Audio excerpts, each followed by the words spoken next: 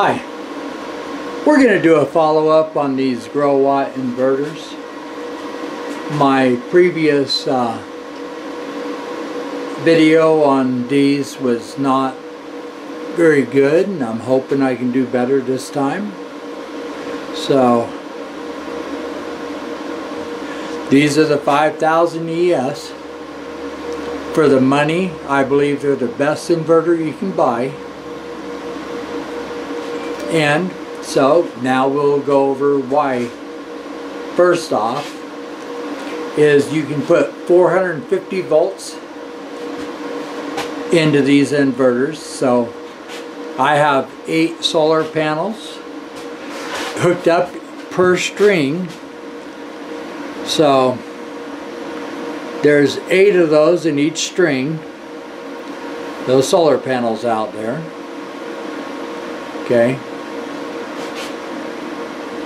And uh, what that does is that allows me to put 360 volts per string into these inverters and you can hook two strings to each inverter. So on these ones here, I've only got one string of solar panels coming into the inverters. On my, that third inverter is hooked up as charge only. This is not providing no loads to the house, but I have two strings coming into there. I have 12,000 watts of solar going into these three inverters with 6,000 going into that inverter on the end with two strings of eight panels. I have one string of eight panels going into these ones with the loads on them. And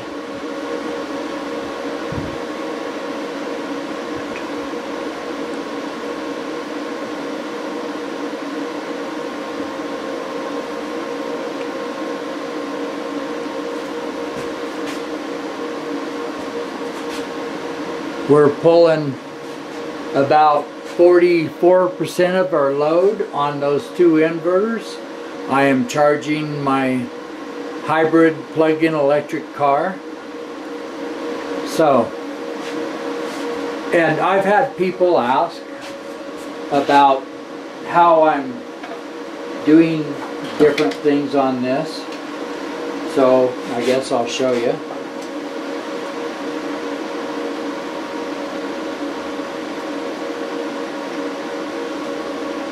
Now,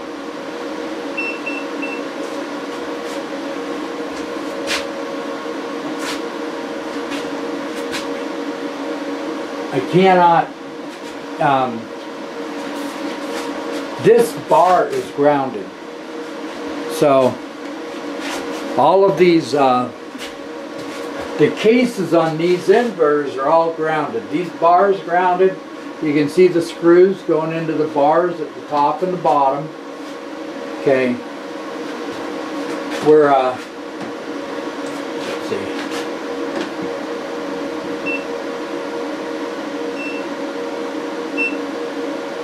We're doing 39.4 amps on this inverter. This one here is going to be uh, it's 13.1. That one's uh, 12.7 on that. But on the, uh, okay, it's showing minus 14 amps. So we're drawing on the battery to charge that car.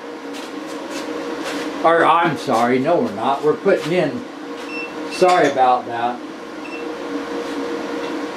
So, now it's showing 23 amps. So we're putting 23 amps into the batteries.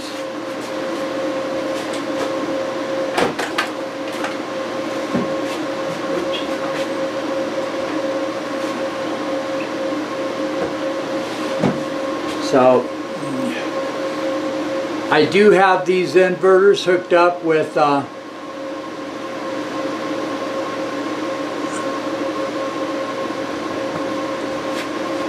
these are 2 watt cables. You hook the positive on the left the negative on the right okay? And I do use grid as a backup. And the grid and the power to supply, I have the positive hooks up, the red hooks up on the center pole, and the negative hooks up on the right. And that's actually, that's actually my other um, power load. So if I had my boxes open, okay, you have you have two different legs of power. And the black hooks up to the one leg, the red hooks up to the other leg. And all those have to be the same. So the if I have the black and the red hooking up here, right? Say the red's at top, the black's down below. I do the same over there, and each and every one of these is hooked up to the exact same. And that's very important. You have to hook those up exactly the same. Okay. The uh, transformer, I have a ground hooked up to it. And the ground that hooks up to this transformer is also what grounds my bars.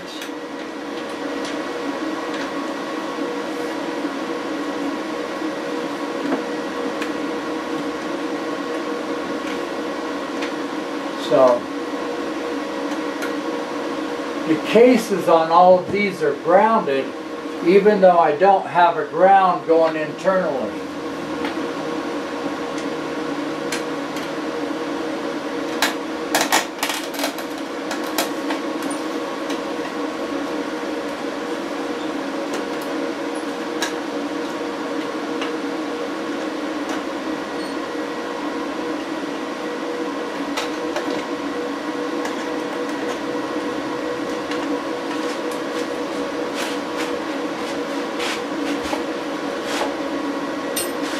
Okay. Now, this ground only hooks up in this box. The ground that comes in on this box over here, okay, this ground that hooks up on here is tied to the grid. That that does the um, the grid the grid power has this ground. This box here is grounded by a separate grounding, this separate grounding. And that's what's hooked up to here and that's what does the, the back of my inverters. The box on my inverters is grounded. So I just wanted to point that out. Somebody was asking me a question about that yesterday. So, no, I do not have a ground hooked up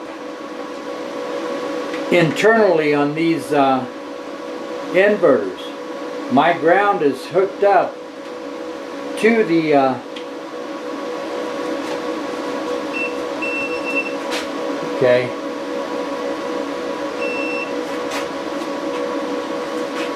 Okay, you hit the ground up here, and you go down here, and it's connected. So, what that does is it grounds the exterior of all my inverters. My uh, transformer is hooked up to the ground by the bars, and the bars ground all my inverters. Okay. So each of these inverters is rated for 6,000 watts, which makes it very nice. we're gonna we're gonna go ahead and hook them up to 6,000 watts each. The transformer, it, it handles the imbalance. And I am thinking about getting another transformer. That way I have a backup. Then I would have two transformers feeding my my power box. The power box on the right is the power that goes to the house.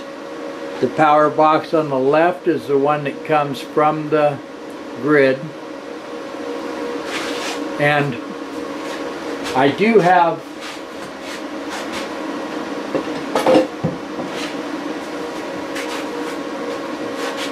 these two plug-ins here. Those are both off the grid. These are off the grid. Okay. Just in case something, I, I've, then I've got two power supplies that I could charge up my batteries if need be. Anything like that. I do have the Gill and E-Gill batteries. Okay. So I got 30 kilowatts of batteries hooked up to these inverters. And right now, the reason why the power is so high is I'm charging my plug-in hybrid car. It's, uh, you know, why not? I'm doing about 180 miles to the gallon on that car and it helps pay for the solar. I, I was making the same payment on that um, Toyota Highlander, but I'm not going through the fuel. The Toyota Highlander uses, uh, and that was a hybrid, it uses a lot more fuel than what it should have been using. And with this, uh, using my solar to power the car, I'm getting about 180 miles to the gallon. So these inverters and all my solar is getting paid for a lot faster now. We're probably saving at least $300 a month on that. And then we're saving, our, our average electric bill was $170 a month. So, and I've been paying about 14, that's the service, and you know, a couple um, couple thousand watts.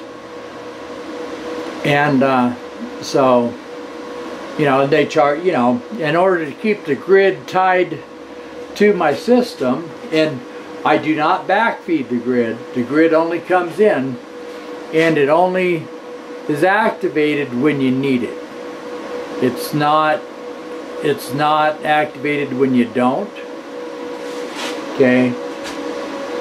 So, we'll uh,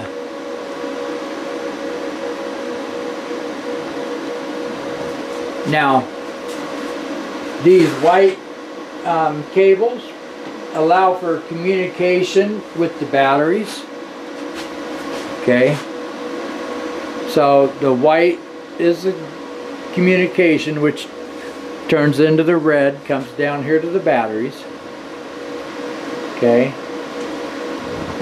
and this box is what they call a solar assistant. And that allows me to monitor what my system is doing. The only thing that's not monitored with that okay.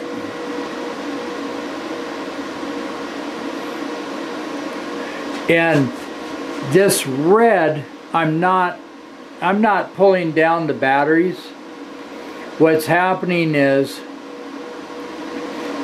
even though it doesn't it shows that I'm drawing off the batteries what's happening is is this third inverter does not go through the solar assistant. They do not have an application unless you tie your inverters all together. You would have to have this white cable going to each of them and then the black cable going to each of them okay? So that inverter, all it does is power the uh, batteries.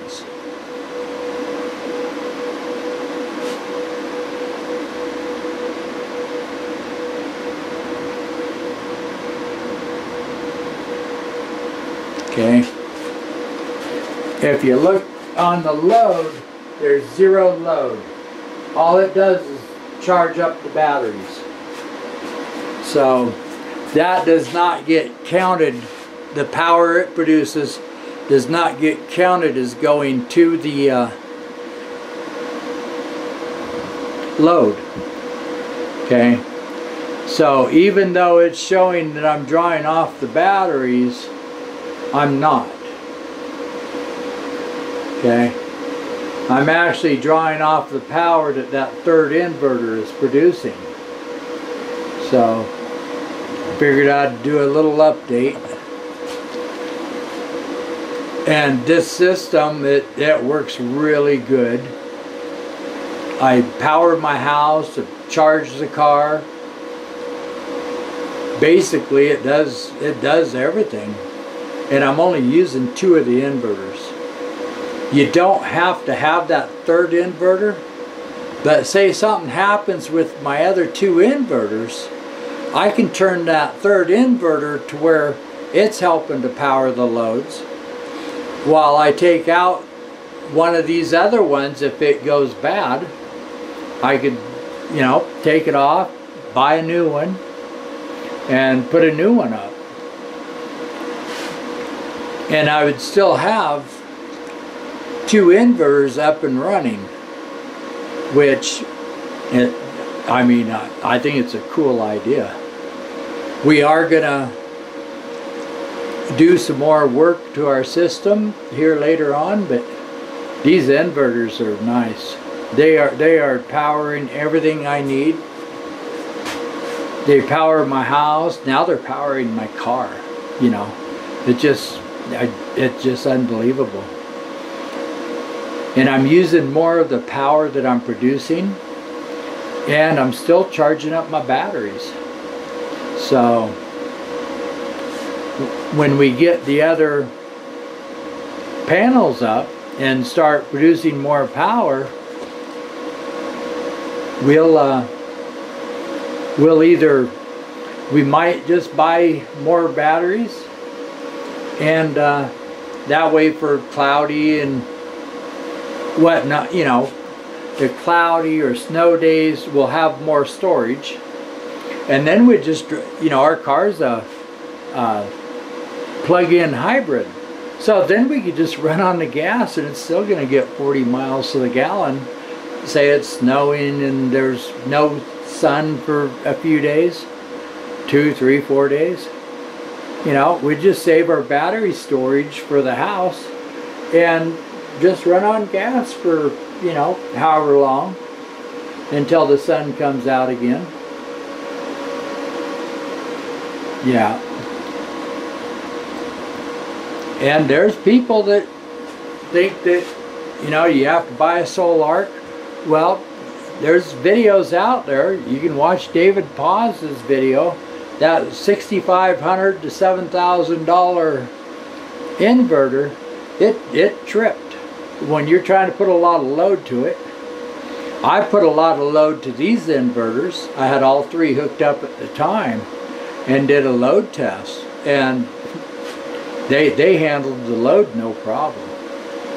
These are, I, I think these are the best inverter you can get for the money and hopefully some of you people will have as much, you know, luck as I've had. So, please like, comment, you know, and subscribe. Thank you.